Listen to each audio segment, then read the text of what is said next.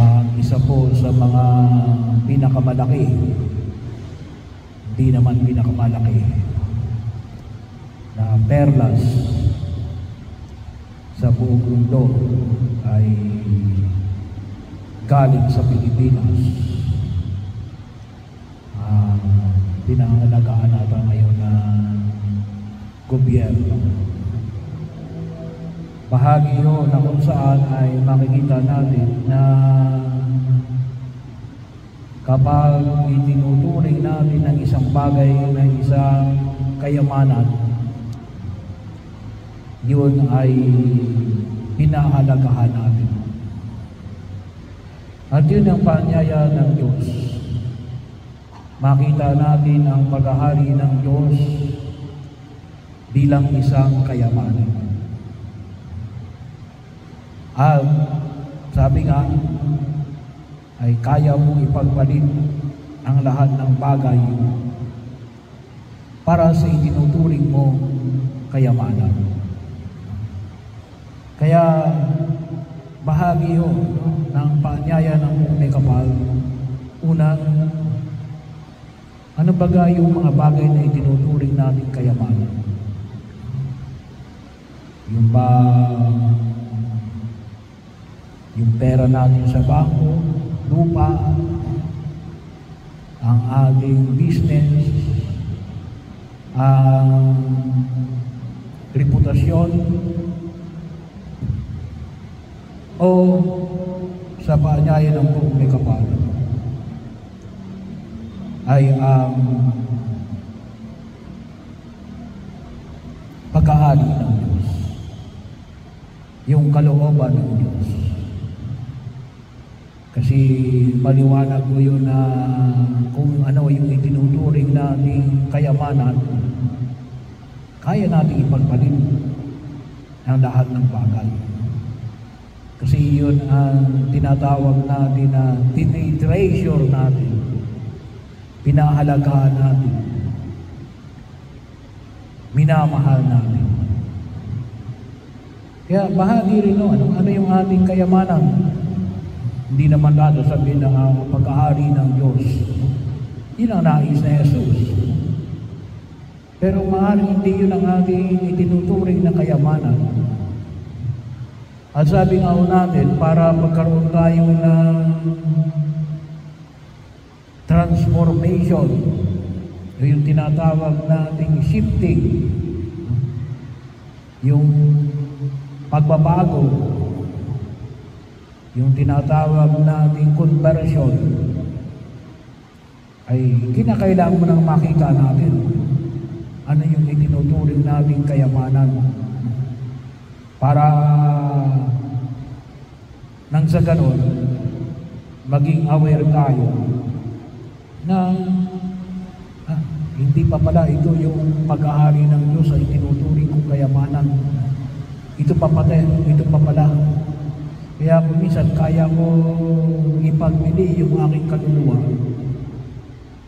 sa mga bagay na itinuturing kong kayamanan. At yun po yung dahilan. May mga taong ipinagbibili nila yung kanilang kaluluwa sa itinuturing nilang kayamanan. At nakakalungkot, ang mga kayamanang itinuturing nila yan hindi yung pag-aari ng Diyos. At kung tutusin na, yung ibang mga kayamanan ni Alin, yung pag-ahari ng sarili. Yun ang kalimitan. Kaya nga yung paanyaya ng Diyos ay Alin, deny yourself. Itakwil mo ang iyong sarili. Doon lamang magsisimula yung tinatawag nating pagpapalibago. Pero yun muna yung una, ay kinakailangan natin identify ano yung kinikilala natin kayamanan. At ang pangalawa ay paano tayo ngayon makatutugon sa panawagan na Jesus na kailangan maging number one na kayamanan natin ay ang paghahari ng Diyos. Hindi naman kagad-agad sinasabi, bagamat may mga hamon na ipinahayag sa Jesus na alin, uh, ipagbili mo ang lahat ng iyong ari-arian. Yun ay, kung tawagin natin ay drastic and revolutionary. Bahagi o yun. Well, maaari siguro humantong tayo doon. Pero hindi ho lahat kaya yun. Mas maigi siguro na masabi natin na unti-unti, no? Unti-unti na kaya natin ikakwil ang mga bagay na kinikilala natin kayamanan para sa pag-aari ng ating sarili, para sa kayamanan na tungkol sa pag-ahari ng Diyos. Bahagi yun siguro na kinakailangan nating tingnan ng pansin sapagkat may mga bagay na kinikilala natin na pwedeng sabihin natin na legitimate na pakailangan natin. Yung sinasabi nga, itakwil mo ang lahat ng iyong, ah, ipagbili mo ang lahat ng iyong ari-arian at sumunod ka sa akin. Ay maaring yun ay tumutugon sa ilang uri ng tao. Hindi para sa lahat.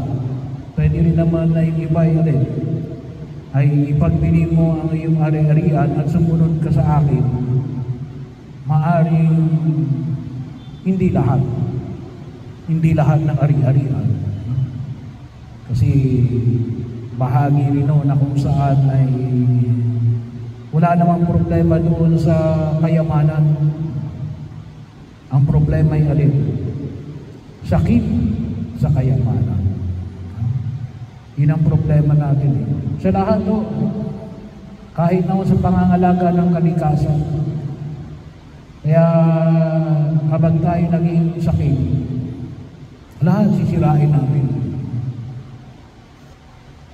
Ang relasyon natin sa bawat isa, ang relasyon natin sa lipunan, ang relasyon natin sa simbahan, at ang relasyon natin sa kalikasan, at maging ang relasyon natin sa Diyos. Kaya bahagi rin na kung saan ay makita mo natin. Ang panyaya ni pinapahayag ni Jesus ay Ah, tayong baga ay naglilingkod para sa paglago ng pag-ahari ng Diyos. So yun po yung transition, yung paglalakbay na kung tawagin natin. Mula sa sarili nating itinuturing ng kayamanan, patungo sa pag-ahari ng Diyos, na nais ng Diyos, na yun ang magiging kayamanan natin. Kaya idalangin natin sa harapan ng pumikapal. Kasi habang tayo nagbubuhay sa daigdig na ito, ay tayo ay palaging naglalakbay.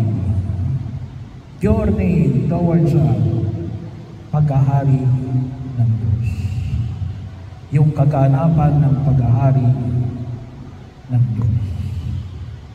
At yun, yun yung pagkakataon na sabi nga natin, sana marating natin yung pinaka-yugto na kaya na nating ipagbili ang lahat.